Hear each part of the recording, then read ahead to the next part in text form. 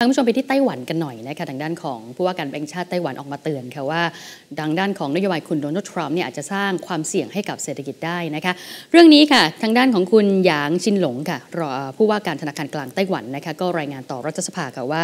หากว่าโดนัลด์ทรัมป์ว่าที่ประธานาธิบดีสหรัฐ เดินหน้านโยบายการค้าตามที่ให้คำมั่นไว้ระหว่างการหาเสียง ก็จะยกระดับความขัดแย้งทางการค้าทั่วโลก และกระทบกับการแข่งขันในอุตสาหกรรมเทคโนโลยี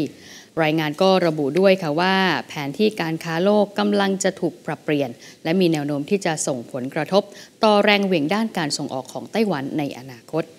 ธนาคารกลางไต้หวันก็ระบุค่ะว่านโยบายภาษีศุลกากรที่แข็งกร้าวของทรัมป์จะเป็นนโยบายการค้าที่มีผลกระทบมากที่สุดของรัฐบาลสหรัฐชุดใหม่ หากนำไปปฏิบัติจริง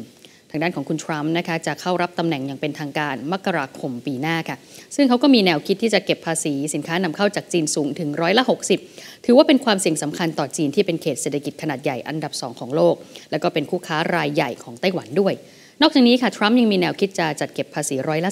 10สำหรับสินค้านำเข้าจากต่างประเทศทั้งหมดทางนี้ไต้หวันก็ตกเป็นเป้าหมายของทรัมป์ระหว่างการหาเสียง โดยระบุให้ไต้หวันจ่ายค่าคุ้มครองให้สหรัฐ และกล่าวหาว่าหาว่าไต้หวันขโมยธุรกิจเซมิคอนดักเตอร์ไปจากสหรัฐ ปีที่แล้วค่ะ ไต้หวันเนี่ยเกินดุลการค้าสหรัฐประมาณ 48,000 ล้านดอลลาร์ โดยไต้หวันถือเป็นผู้ผลิตเซมิคอนดักเตอร์รายใหญ่ให้กับบริษัทในอุตสาหกรรมเทคโนโลยี อย่างเช่น Apple แล้วก็ Nvidia ธนาคารกลางไต้หวันก็ระบุค่ะว่าจะติดตามความเปลี่ยนแปลงของนโยบายสำคัญจากสหรัฐต่อไป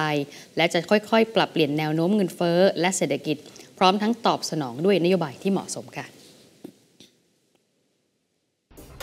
ขอบคุณสำหรับการติดตามรับชมรายการเศรษฐกิจอินไซด์นะคะ คุณผู้ชมอย่าลืมค่ะ กด subscribe กดกระดิ่ง กดไลค์ กดแชร์ในทุกช่องทางออนไลน์ของ TNN ช่อง 16 นะคะ แค่นี้คุณผู้ชมก็จะไม่พลาดรายการสดและก็คลิปดีๆมากมายค่ะ